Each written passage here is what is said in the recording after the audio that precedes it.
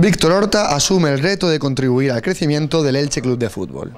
Su objetivo, construir una dirección deportiva ejemplar e innovadora que convierta al club en un modelo de gestión en primera división. Después de una temporada de éxitos, el presidente José Sepulcre ha decidido dar un paso más con la contratación de Víctor Horta.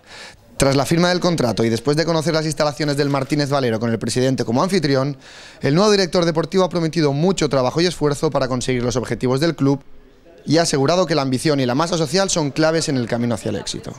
Pero yo creo que me convenció un poco de esa locura el presidente en esa comida. La verdad que, que salí muy ilusionado y, me sentí muy, querido principalmente. Si todo tengo que resumir en una palabra, ambición. A mí me costaba eh, pensar que un equipo que había, se había mantenido en primera división después de tanto tiempo quería dar un paso más. No, no se conformaba. Y eso un poco fue lo que el presidente me inculcó desde el principio, ¿no?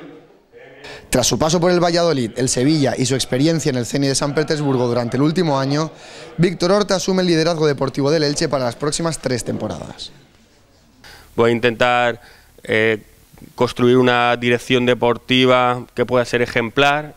Yo creo que tengo cosas en común con el entrenador, ¿no? El entrenador ha sido segundo durante mucho tiempo y ahora es primero. Pues un poco lo que me ha pasado a mí también, ¿no? He estado mucho tiempo de mano derecha de, de gente en la dirección deportiva yo, no me siento preparado para, para estar al frente de una dirección deportiva, ¿no? Víctor Horta se convierte así en el primer gran fichaje del Elche 2014-2015 y ya trabaja en la confección de una plantilla competitiva que siga haciendo historia en la Liga BBVA.